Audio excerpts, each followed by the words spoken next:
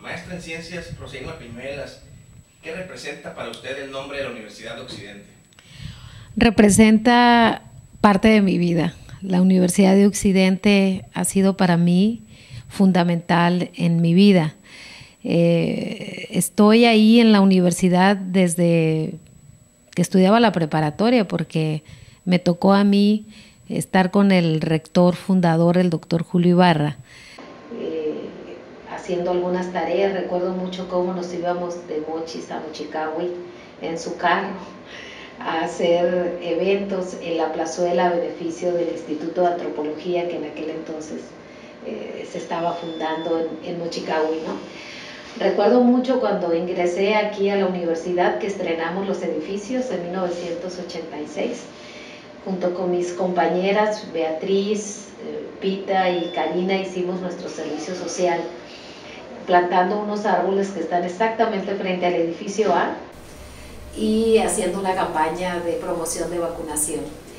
Ese es un recuerdo y esos árboles que están ahí que todavía no los ha tumbado ningún ciclón fueron producto también de nuestro, de nuestro trabajo y son el mejor testigo de nuestro paso también por la universidad. Han sido unos años maravillosos para mí en la universidad, eh, aparte de estudiar ahí mi carrera, la licenciatura en comunicación, eh, donde tengo inolvidables momentos, maestros, amigos. Después ingresé como trabajadora a la universidad. Teniendo la oportunidad de fundar Radio Universidad de Occidente en 1992. Eh, la radio eh, ha sido también parte de mi vida desde que yo tenía 14 años y haber tenido la oportunidad de fundar la estación de radio de la universidad fue para mí también un privilegio de enseñar a muchos estudiantes a hacer una radio diferente, hacer una radio por la cultura, por la educación es eh, muchos momentos también de esfuerzo, de trayectoria en, en, la radio de la universidad. Del 92 al 99 yo estuve ahí como directora de Radio Universidad. En ese tiempo también tuve la fortuna de fundar los centros integrales de comunicación eh, en todo el estado de Sinaloa. Fueron en Culiacán, en Guasave, en Guamúchil y en Los Mochis.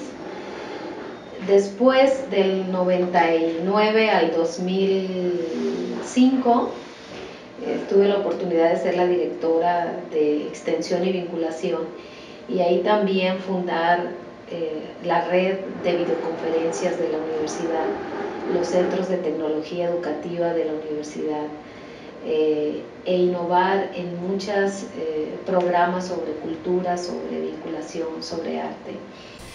Son seis años también maravillosos porque mm, tuve la oportunidad de crecer en muchos programas.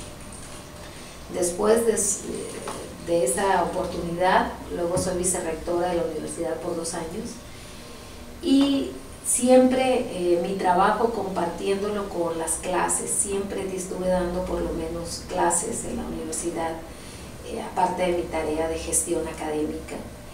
Y para mí el estar cerca de los alumnos es una oportunidad de crecer junto con ellos. Yo quiero mucho a mis alumnos, es más, algunos de los egresados son algunos de mis mejores amigos y que me da mucho gusto verlos crecer y verlos desarrollarse en el ámbito que ellos han seleccionado de la comunicación. Em, también quiero decir que hay un área bien importante que aprendí en la universidad. Aparte de mi desarrollo profesional, aprendí a hacer todos los proyectos de gestión y procuración de recursos a nivel federal. Desde 1993, que fue cuando la universidad obtuvo por primera vez recursos federales a través de un fondo. Desde ahí empecé a hacer mi primer proyecto de gestión de recursos con un proyecto de divulgación, recuerdo, y que recibió recursos a través del FOMES, que era el Fondo para la Modernización de la Educación Superior, que era la primera vez que la universidad concursaba en dicho fondo, y uno de los proyectos aprobados fue uno elaborado por, por una servidora.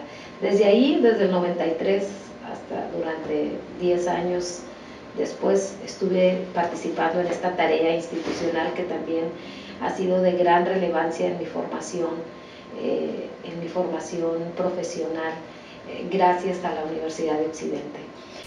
Gracias a esta institución también he podido estudiar mi doctorado.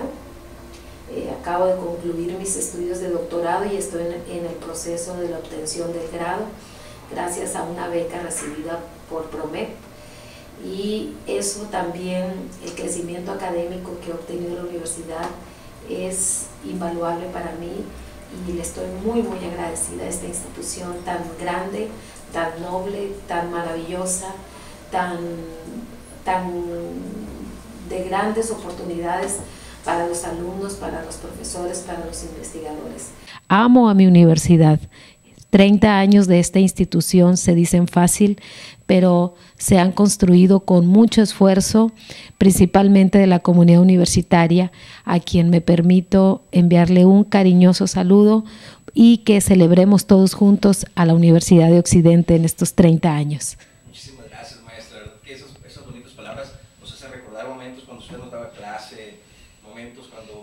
tuve la oportunidad de trabajar con usted. Eh, ¿qué, ¿Cómo visualiza usted a la Universidad Occidente en estos próximos 30 años? Yo creo que los retos de una institución de educación es siempre estar respondiendo a las necesidades de su entorno. Yo creo que la universidad se tiene que ir eh, creciendo de acuerdo a como la demanda lo vaya dictando, en la parte de educación, en la parte de eh, económica. Y para mí los retos de la universidad son esos, los retos de atender la demanda, de crecer a nivel internacional. Con todos los programas de internacionalización, de crecer en el tema de la vinculación, creo que el tema de la vinculación es vital para integrarse a la sociedad y responder a sus necesidades. A mí me parece que la universidad es una de las grandes opciones que tiene Sinaloa para responder a la formación de, profesionistas. Muchísimas gracias, maestra. Es un placer estar aquí con usted. Platíquele a la gente qué es lo que hace aquí en el Centro de Innovación y Educación. Bueno, este es otro de los proyectos que, que también eh, están muy dentro de mí. El Centro de Innovación y Educación es un centro de educación, innovación y arte. Está dedicado a la tarea de, de formar, contribuir en la formación integral de las personas. Y definitivamente nosotros aquí eh, nos encargamos de la dirección de este centro. Primero, me correspondió hacer el proyecto y posteriormente eh, dirigir cada una de las actividades que aquí se realizan. Excelente, pues invitar a toda la gente para que visite el CIE. Así es, el Centro de Innovación y Educación los espera con los brazos abiertos en todos sus programas, en los programas de arte, en los programas de educación, de innovación. Bienvenidos todos al CIE. Maestro, pues manden una felicitación a la universidad por sus 30 años. Muchas felicidades a la Universidad de Occidente por celebrar sus 30 años muy, pero muy, muy, muy merecidos mm, por todas sus aportaciones al desarrollo de nuestro Estado, por todos los egresados que la adoramos y por todo lo que tiene que hacer para salir adelante. ¿A qué maestros recuerda, maestra? Uy, tengo maravillosos recuerdos de los maestros. Yo te puedo decir mm, que uno de, de los maestros que, que más recuerdo, si me voy por áreas del conocimiento, Blanca Meneses, por ejemplo, fue una de mis, de mis maestras, eh, que ahora es compañera mía del doctorado. Blanca ingresó a la universidad igual muy, muy, muy, muy joven. Era una de las maestras y aparte se encargaba de, de un programa de radio, Esencia Universitaria se llamaba el, el, programa. Recuerdo muy bien a Blanca porque es mucho, muy inquieta, a Leticia Morales. A Pati Tapia, Recuerdo también a mi profesor de matemáticas, eh, eh, a mi profesor de matemáticas, a quien, a quien también quiero muchísimo. Y este recuerdo también de los profesores, eh, por ejemplo, en el área de diseño. Recuerdo mucho a una maestra que me llamaba mucho la atención, a Alma Conan, porque era como que una de las primeras maestras eh, que tenía un perfil extranjero, ¿no? Entonces eh, me llamaba mucho la atención su, eh, su manera de, de, impartirnos clases, ¿no?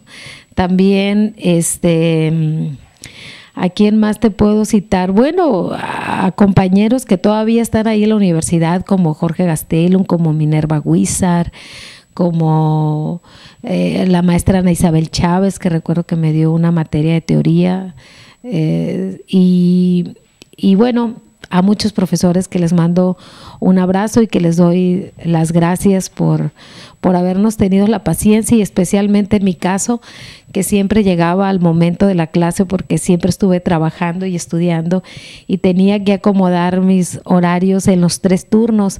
Yo iba a la universidad en unas clases en la mañana, otras en la tarde y otras en la noche. Entonces, eh, especialmente en el primer trimestre que estudiábamos de 4 a 10, era real, de 4 a 9 era realmente una odisea el regreso para quienes veníamos en camión. Muchas veces recorrimos desde la universidad hasta el centro para agarrar los camiones, a veces nos íbamos por las Malvinas, por lo general, cuando nos íbamos a pie, o a veces si teníamos suerte, pues tomábamos un ride ahí en la, ahí en la carretera, ¿no? Era muy arriesgado, pero pero hay muchos compañeros que nos íbamos como Carlos Cota, como varios que estudiábamos en la noche, este, agarrábamos ahí el ride y nos dejaban por lo general eh, lo más la leiva o, donde nos podían aventar, pero la idea era que nos sacaran de, del lado de las Malvinas, porque en 1986 pues el servicio de camiones eh, no era muy rápido ahí en el, ahí en el, en aquel entonces pero muy contentos. Yo creo que mm, a mí me tocó aprender computación en el pizarrón, por ejemplo. En la, el pizarrón nos, nos explicaban la computadora y había una o dos computadoras nada más y, y, había que tocarlas nada más, ni nada más así para que las conociéramos, ¿no?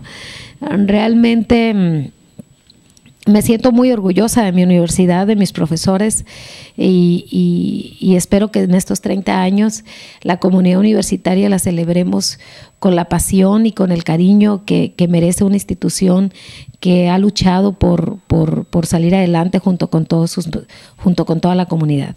Muchísimas gracias, maestra. En nombre de Universidad Occidente le agradecemos esta entrevista. Hasta luego.